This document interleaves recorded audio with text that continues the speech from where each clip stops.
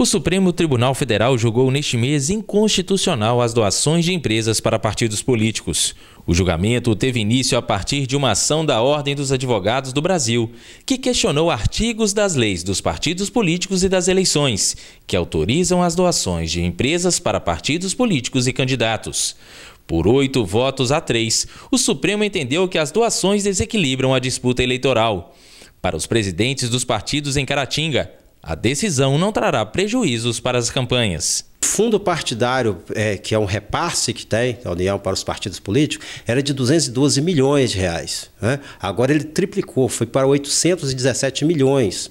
Ou seja, já é um valor, que é um fundo partidário, e este valor também é claro que ele não é usado para a campanha, ou você passe por alguma fundação, para cursos políticos, e com isso eu acho que a campanha vai ficar né, mais igualitária. O aspecto financeiro, a interferência das grandes empresas, ela distancia o público de uma ação democrática efetiva. Quase na mesma data da decisão ocorrida no último dia 17 de setembro, a Câmara dos Deputados aprovou um projeto de lei para regulamentar as contribuições. Se a presidente Dilma sancionar, será preciso uma nova ação para questionar a validade das doações do Supremo devido à decisão contrária do tribunal.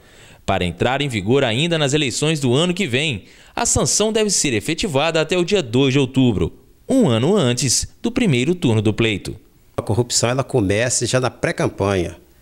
Ou seja, são os empresários, as grandes empresas que ficam patrocinando os partidos políticos, e através dessas, desses patrocínios dos partidos políticos, aí que começa o balcão das negociatas. Que isso aí é contra, é inconstitucional, e eu sempre fui a favor é, do financiamento público de campanha e não do financiamento privado. Nós temos visto nos últimos tempos, através da mídia mesmo, como que as grandes empresas interferem no processo eleitoral e como elas são também usadas para para direcionar os caminhos de uma, de, um, de uma cidadania, de uma população.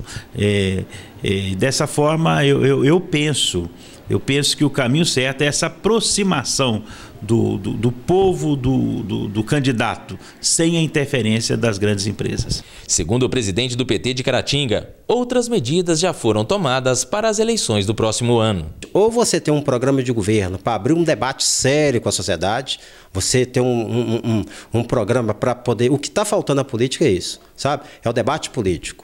Então, a partir do momento que acabar essas campanhas é, com gastos milionários, aí nós vamos chamar a sociedade, é o PT, o PCdoB, o PMDB, o PSDB, todos os partidos, para um debate franco e honesto. Então, este debate é que está faltando, para você discutir a política, acabar com a corrupção e acabar com essa política do toma lá da cá que sempre existiu e que eu acho que é o, o errado da política. O eleitor tem que conhecer o seu candidato e saber se realmente compensa investir o seu voto nessa pessoa.